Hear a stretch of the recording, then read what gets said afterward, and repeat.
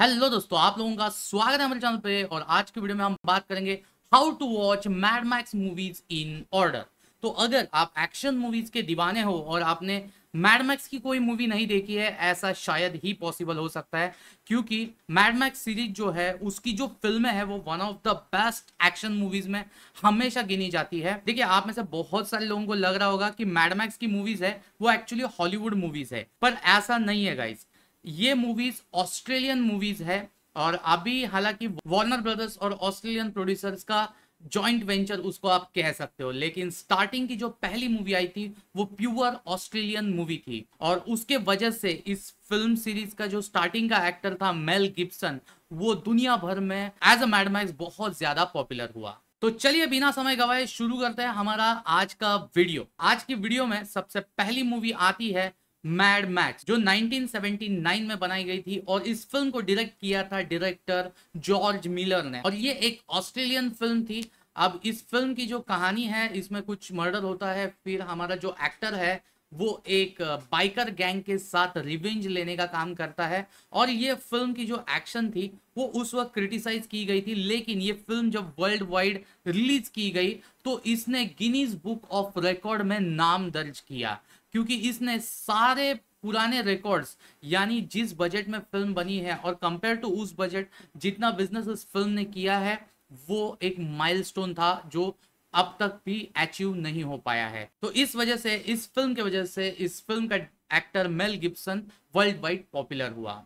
और इसके बाद आती है सेकंड नंबर की मूवी मैड मैक्स टू ये इसके दो साल बाद आई थी और इसमें जो कहानी दिखाई गई है, वो भी लगभग दो तीन साल आगे चली जाती है। अभी इस फ़िल्म में कुछ इस तरह से दिखाया जा रहा है कि पूरी दुनिया जो है वो तबाह होते जा रही है और कुछ लोग अपने ग्रुप्स बना के आगे चल रहे हैं। तो ऐसे में हमारा जो मैड मैक्स है, वो एक ग्रुप के साथ जुड़ जाता है और वहाँ पे कैसे कैसे हर्डल्स आते हैं और उन हर्डल्स के साथ किस तरीके से ये लोग सामना करते हैं, वो हमें इस फ़िल्म में देखने को मिलेगा। ये फ़िल्म आज भी one of the best action movies में गिनी जाती है। जैसे कि मैडमैक्स टू नाम में मैडमैक्स टू है, वैसे ही इस फ़िल्म का जो एक्शन है, वो भी दुगना हो जाता है। इसमें जो कॉस्ट्यूम डिज़ाइन और प्रोडक्शन वैल्यू डाली गई है, वो आइकॉनिक मानी गई थी उस टाइम पीरियड के हिसाब से। और जो एक्शन सीक्वेंसेस थे, वो बहुत ज़्यादा इंटेंस थे। और मेल गिब्सन का जो परफॉर्मेंस था इस फ़िल्म में, वो एज अ लीजेंडरी कैरेक्टर आज भी नोटिस किया जाता है पूरी फिल्मी दुनिया में। अब इसके बाद थर्ड नंबर की जो मूवी आती है, इस मूवी का नाम है Mad Max beyond Thunderdome और ये थंडर डोम जो फ़िल्म है, ये इंट्रोड्यूस करती है थंडर डोम को, जो एक एक्चुअली ग्लैडिटोरियल कॉम्बैट एरिना है। लेकिन इस फ़िल्म का जो टोन था, वो मैडमैक्स और मैडमैक्स टू के कंपैरिजन में बहुत ज़्यादा फैमिली फ्रेंडली और फैंटास्टिकल टोन था। ये 1985 में बनाई गई थी। हालाँकि फ़िल्म बनाने का जो डिफरेंस था वो चार साल का था, लेकिन फ़िल्म में की जो कहानी है, उसमें एक बहुत बड़ा जंप देखने को मिलेगा। यानी इस फ़िल्म में पंद्रह साल कहानी जो है वो आगे चली जाती है। और इस फ़िल्म को भी डायरेक्टर जॉर्ज मिलर ही डायरेक्ट कर रहे थे स्टार्टिंग में। बाद में उनके एक दोस्त की मौत होने के वजह से उन्होंने फ़िल्म को बीच में ही छोड़ दिया। और इस वजह से इस प्रोजेक्ट के साथ जुड़े डायरेक्टर जॉर्ज ओजिलिवी और ये फ़िल्म मेल गिब्सन के करियर की लास्ट फ़िल्म रही एज अ मैडमैक्स क्योंकि इस फ़िल्म के बाद मेल गिब्सन को मैडमैक्स का रोल करने का आगे जाके मौका नहीं मिला। तो ये बैक टू बैक फ़िल्म देखने के बाद शायद आपको थोड़ा सा ओल्ड वाली फीलिंग आ सकती है, क्योंकि ये फ़िल्म 1985 में बनी थी और उसके बाद जो लेटेस्ट मैडमैक्स की फ़िल्म बनी, उन दोनों फ़िल्मों में 30 साल का डिफरेंस था। और इसके बाद जो लेटेस्ट मैडमैक्स की मूवी आई, ये 2015 में आई। चार नंबर पे जो ये फ़िल्म आई, इस फ़िल्म का नाम था मैड मैक्स फ्यूरी रोड आप कहोगे, यार, ये भी तो नौ साल पुरानी हो गई, लेकिन आप आज भी इसको देखने बैठोगे तो आप देखते वक्त आपके बदन के रोंगटे खड़े हो जाएँगे। इस फ़िल्म के वीएफएक्स इस फ़िल्म का एक्शन इस फ़िल्म में जिस तरीके से एक वर्ल्ड क्रिएशन दिखाया गया है, वो बहुत खतरनाक लेवल पे था। और हाँ ये फ़िल्म के बारे में एक बात बताना चाहूँगा। इसमें कुछ एडल्ट कंटेंट है और इस वजह से ये फ़िल्म आप आपके फैमिली के साथ नहीं देख सकते हो। लेकिन इस फ़िल्म में टॉम हार्डी ने जितना बेहतरीन परफॉर्मेंस दिखाया है ना, उसकी जितनी भी तारीफ़ की जाए, वो कम है।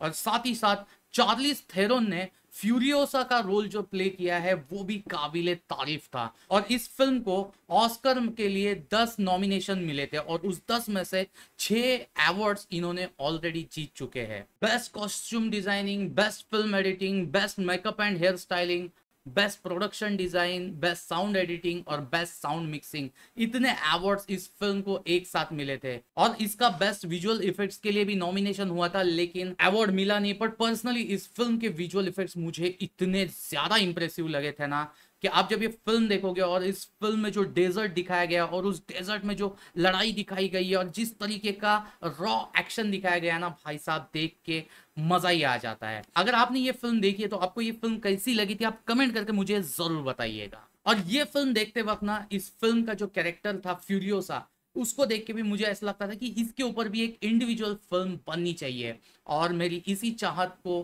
पूरा किया मैडमैक्स सीरीज़ वालों ने। मैडमैक्स फ्यूरी रोड का एक प्रीक्वल बना के इस फ़िल्म का नाम है Furiosa, a Mad Max saga. ये आज ही 24 मई 2024 को वर्ल्ड वाइड रिलीज़ की गई है और इस फ़िल्म का भी रिव्यू जितना ज़बरदस्त आया ना भाई साहब, ये फ़िल्म मैं खुद थिएटर में जाके देखने का मन बना चुका हो। और ये फ़िल्म जो है, ये मैडमैक्स का एक स्पिन ऑफ़ भी है और प्रिक्वेल भी है। यानी फ्यूरियोसा की जो कहानी आपको मैडमैक्स फ्यूरी रोड में देखने मिलेगी, उसके पहले फ्यूरियोसा के साथ क्या हुआ था और कैसे Furiosa, Mad Max Fury Road में जहाँ पे पहुँचती है, वहाँ तक कैसे पहुँचती है, उसकी पूरी दास्तान आपको इस फ़िल्म में देखने को मिलेगी। और फ्यूरियोसा में आपको क्रिस हेम्सवर्थ एक बहुत ही इंपॉर्टेंट रोल प्ले करते हुए नज़र आएँगे। क्रिस हेम्सवर्थ वो एक्टर है जिसको अपने पिछले दशक भर में थॉर के रोल में बहुत ज़्यादा प्यार किया है। अगर आप क्रिस हेम्सवर्थ के भी फ़ैन हो तो ये फ़िल्म स्पेसिफिकली आपको थिएटर में जाके ज़रूर से देखनी चाहिए। और इसके बाद आने वाली है मैड मैक्स की एक तबाही फ़िल्म इस फ़िल्म का नाम रहने वाला है मैड मैक्स द वेस्टलैंड और इसमें हमको टॉम हार्डी वापस से मैड मैक्स के रोल में देखने को मिलेगा। और 99 परसेंट चांसेस है कि डायरेक्टर जॉर्ज मिलर जिन्होंने ये पूरी फ्रेंचाइज को डायरेक्ट किया है, वही इस फ़िल्म के डायरेक्टर रह सकते हैं।